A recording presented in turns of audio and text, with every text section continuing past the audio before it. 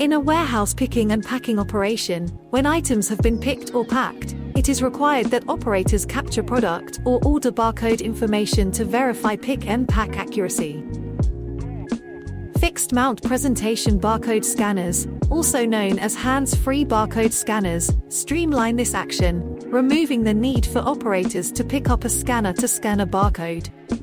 Allowing more barcodes to be read per hour due to the improved efficiency of the process.